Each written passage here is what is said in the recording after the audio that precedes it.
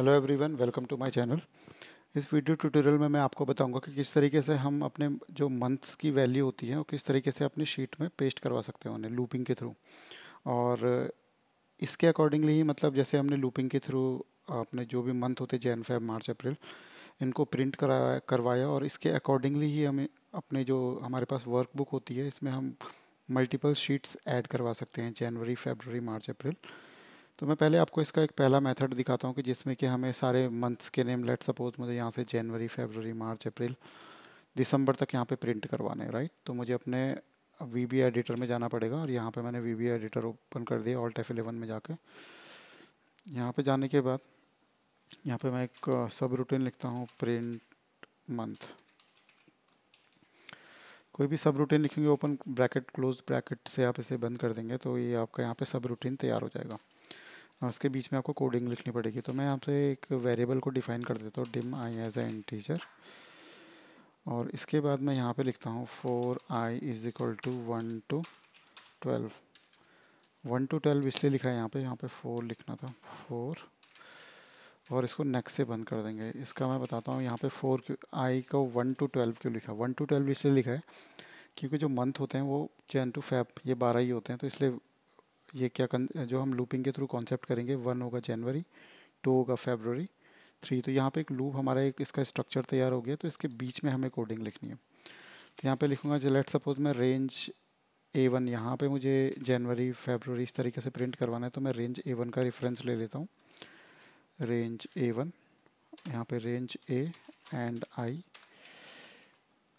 equal to month name month name. यहाँ पे spelling बिल्कुल सही रखिए। मंथ नेम और आई की वैल्यू यहाँ पे लगा देते हैं। तो यहाँ पे मैं से पहले रन करवा कर दिखाता हूँ आपको। यहाँ पे रन किया तो यहाँ पे देखिए जनवरी फरवरी मार्च पूरा दिसंबर तक यहाँ पे वैल्यूज़ आ गई हैं। राइट तो इसमें हुआ क्या है एक्चुअली? इसको हटा देते हैं एक बार।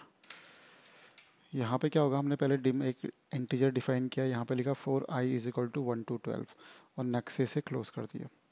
तो ये हमारा फोर का स्ट्रक्चर है क्योंकि हमारे जो मंथ होते हैं, वो होते हैं जैन टू दिसंबर और ये टोटल बारह होते हैं।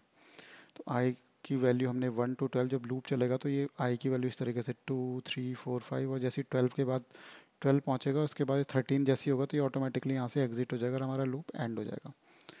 और जैसे कि मुझे ए पे प्रिंट करवाना था तो मैंने यहाँ पे ए का रेफरेंस दे दिया। जैसे हम ए टू लिखते हैं तो आई की वैल्यू जैसे पहले लूप में वन होगी देन टू होगी तो ये हो जाएगा ए टू इक्वल टू, यहाँ पे month name equal to I I में जो भी एफ़ से मैं रन करवा कर दिखाता हूँ आई की वैल्यू अभी हमारे पास, मैंने माउस यहाँ पे रखा है तो वन दिखा रहा है तो ये हो जाएगा हमारा ए वन ए वन अब मंथ नेम या वन लिखा हुआ तो ये जनवरी हो जाएगा। फिर ये लूप सेकेंड लूप में गया तो इसकी वैल्यू हो गई टू तो ए टू सेल में ये कर देगा पेस्ट फेबररी तो इस तरीके से ये रन होता है। और यहाँ पे पूरे के पूरे नंबर हमारे प्रिंट हो जाते हैं। लेट सपोज़ मुझे बी में करना है तो मैं यहाँ पे बी का रेफरेंस दूँगा और रन कराएँगे तो बी पे भी आ जाएगा।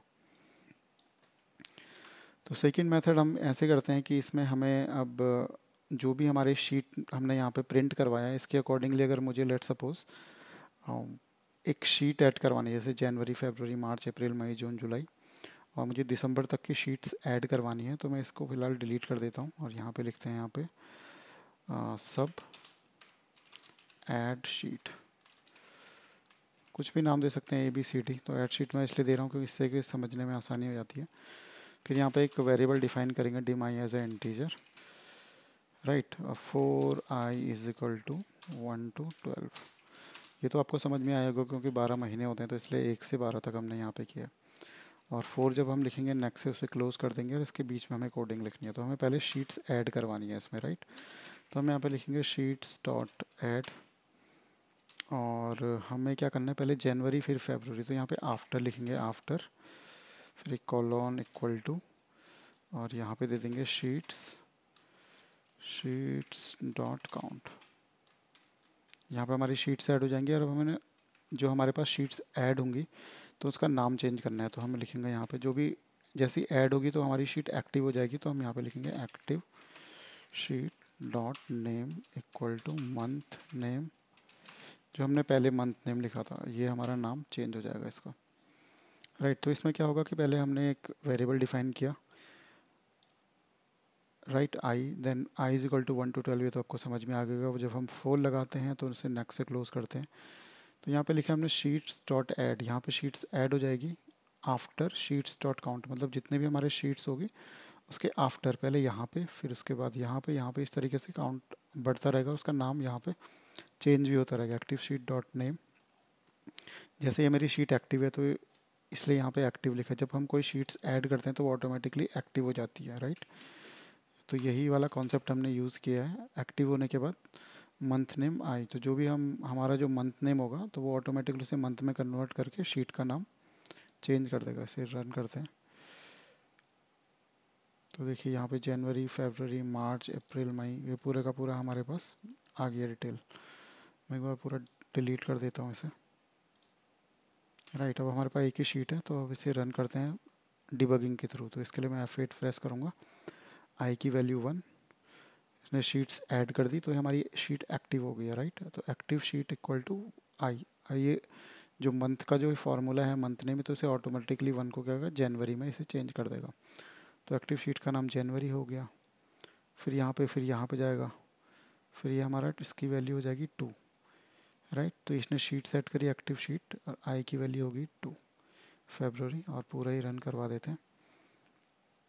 तो ये देखिए, पूरी की पूरी जैन से लेके दिसंबर तक की हमारी शीट यहाँ पे सिंगल कोड में ही तैयार हो गई है। रादर देन हमें उसे एक एक करके एक्टिवेट करेंगे ऐड करेंगे, फिर रिनेम करेंगे। तो वी बी से आप इंस्टेंटली इन सारी चीज़ों को कर सकते हैं।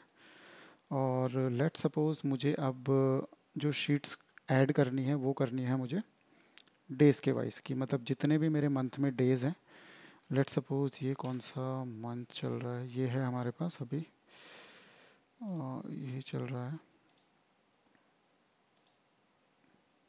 तो यहाँ पे देखेंगे जो सितंबर में थर्टी डेज़ हैं और अक्टूबर में थर्टी वन डेज़ हैं तो हम इसी वाले कॉन्सेप्ट में काम करके और शीट्स ऐड करवाएँगे कि जितने भी हमारे मंथ में हमारे पास डेट फॉल करती हैं, उतनी ही शीट इसमें क्रिएट करवानी है। तो हम इसे कैसे करवा सकते हैं? तो इसे मैं फ़िलहाल डिलीट कर देता हूँ।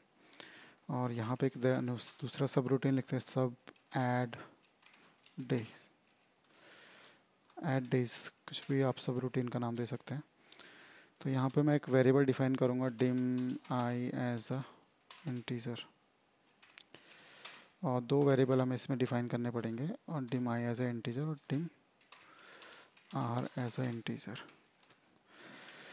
इसके बाद हमें क्या करना है पहले अपने जो भी हमारे पास पूरे महीने में, में जितनी भी डेट्स होती हैं क्योंकि जब हम लूप चलाएँगे तो हम जैसे वन टू टेन चलाते हैं तो इसमें हमें मतलब पूरे मंथ का हमें पता होना चाहिए कि कितने डेज़ हैं। तो उसके लिए हमें यहाँ पे एक फार्मूला यहाँ पे लिखेंगे। इसको थोड़ा इधर कर देता हूँ मैं। और यहाँ पे हमने आर ऑलरेडी डिफाइन करा है। R equal to day application dot यहाँ पे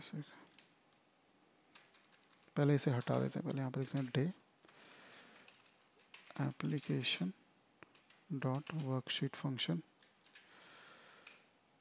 dot EO month यहाँ पे लिखेंगे डेट कॉमा ज़ीरो और इसे बंद कर देंगे। क्योंकि मैंने आर इसलिए हटा दिया था क्योंकि कभी कभी जब हम इक्वल टू लिख देते हैं तो यहाँ पे इंटेलिजेंस लिस्ट नहीं आती है, जिसकी वजह से हमें मैनुअली पूरे नाम टाइप करने पड़ते हैं। जिससे कभी कभी स्पेलिंग मिस्टेक होने के चक्कर से कभी कभी हमारा कोड एग्जीक्यूट नहीं होता है। तो अभी हमें आर की वैल्यू देख लेते हैं।